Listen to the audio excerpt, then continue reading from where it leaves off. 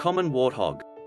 The common warthog, Phacochoerus africanus, is a wild member of the pig family, Suidae, found in grassland, savanna, and woodland in sub-Saharan Africa. In the past, it was commonly treated as a subspecies of P. aethiopicus, but today that scientific name is restricted to the desert warthog of northern Kenya, Somalia, and eastern Ethiopia. Description the common warthog is a medium-sized species, with a head and body length ranging from 0.9 to 1.5 meters, and shoulder height from 63.5 to 85 centimeters. Females, at 45 to 75 kilograms, are typically slightly smaller and lighter in weight than males, at 60 to 150 kilogram. A warthog is identifiable by the two pairs of tusks protruding from the mouth and curving upwards. The lower pair, which is far shorter than the upper pair, becomes razor sharp by rubbing against the upper pair every time the mouth is opened and closed. The upper canine teeth can grow to 25.5 centimeters long and have a wide elliptical cross-section, being about 4.5 centimeters deep and 2.5 centimeters wide. A tusk will curve 90 degrees or more from the root, and will not lie flat on a table, as it curves somewhat backwards as it grows.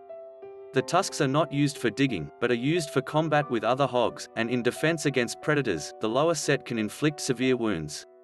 Common warthog ivory is taken from the constantly growing canine teeth. The tusks, particularly the upper set, work in much the same way as elephant tusks with all designs scaled down. Tusks are carved predominantly for the tourist trade in east and southern Africa. The head of the common warthog is large, with a mane down the spine to the middle of the back. Sparse hair covers the body. Its color is usually black or brown. Tails are long and end with a tuft of hair. Common warthogs do not have subcutaneous fat and the coat is sparse, making them susceptible to extreme environmental temperatures.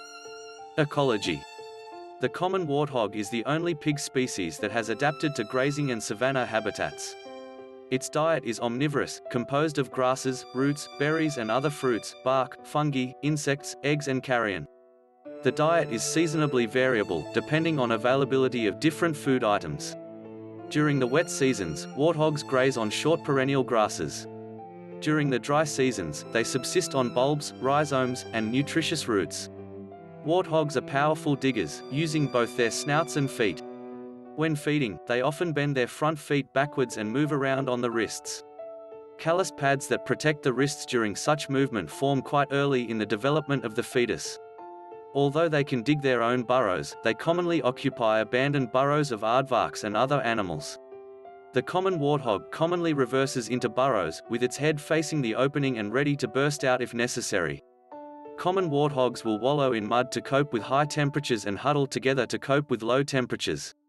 Although capable of fighting, males aggressively fight each other during mating season. The common warthog's primary defense is to flee by means of fast sprinting.